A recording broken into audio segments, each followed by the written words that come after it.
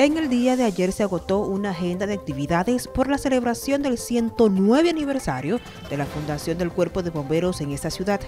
A pesar de los servicios bien valorados que ofrece la entidad, carece de varias necesidades, entre las que el doctor Luis Elías Esmurdot, general del Brigada del Cuerpo de Bomberos en San Francisco de Macorís, narra como principal la adquisición de un local propio, ya que tienen más de un siglo de funcionamiento y aún no lo poseen.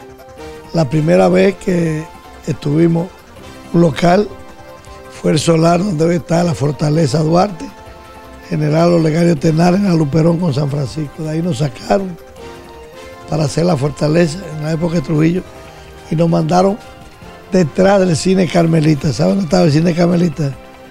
Frente al restaurante Dorado. De ahí nos sacan y nos mandan para el Mercado Viejo por el callejón Olegario Tenares, en la callecita chiquita de dos cuadras que hay ahí. De ahí nos sacan y nos mandan a donde hoy está la funeraria municipal. Y de ahí nos sacan y nos mandan al almacén de la chocolatera. Es decir, que nosotros nunca hemos tenido la dicha de gozar de un local. Y esa es una de las condiciones necesarias que hace falta en San Francisco de Macorís. Aunque afirma tener vehículos y maquinaria suficientes, el número de empleados no da abasto para las necesidades.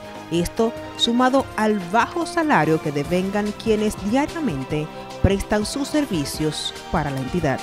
Y ahora nosotros urgente, urgente, urgente, lo que necesitamos es mejor suelo para los bomberos y un local para el cuerpo de bomberos.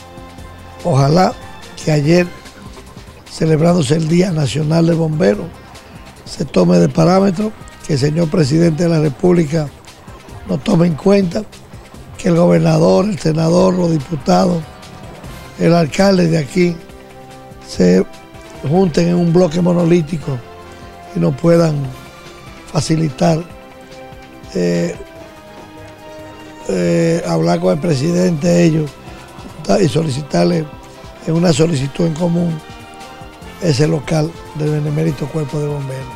Para NTN, Joanny Cordero.